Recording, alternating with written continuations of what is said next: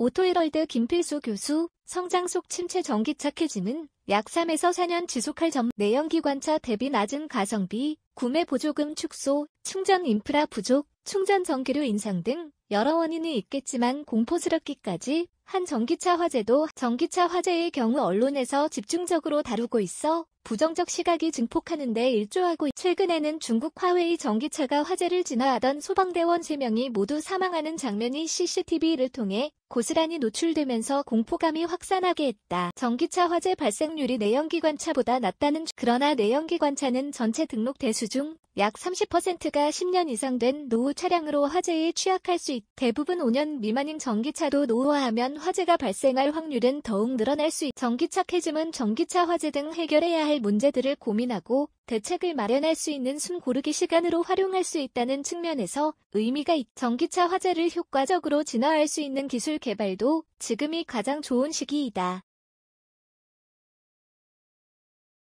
우리나라는 도심지 약 70% 이상의 아파트와 같은 등 집단 거주를 하고 있다. 빌라나 연립주택 등을 포함하면 밀집도가 높은 거주지 특성이 그리고 이러한 집단 거주지 주차장은 대부분 지하에 존재한다. 지하 충전소는 화재가 발생했을 때 대형 화재 사고로 이어질 가능성이 매우 높. 특히 전기차 화재는 확산 온도가 높고 속도도 빨라 다른 차량으로 번지거나 유독가스 발생으로 대규모 인명피해로 이어지기 반면 이에 대한 준비는 미흡하다. 일부 아파트는 전기차의 지하 주차장 진입을 막거나 충전소 설치를 거부한 혹여라도 지하 충전소에서 전기차 화재가 발생하면 사회적 공포감은 극대화할 것이다. 환경부는 작년 후반부터 전기차 화재 대응책을 고민해왔. 그리고 안전 마진 확보를 위해 지하에 설치된 충전기의 충전 비율을 90% 이하로 낮추는 방안을 마련했다. 하지만 지하 충전소 대부분 완속 충전기라는 문제를 갖고 있다. 완속 충전기는 충전기와 전기차 간 통신이 되지 않아 강제적으로 충전 비율,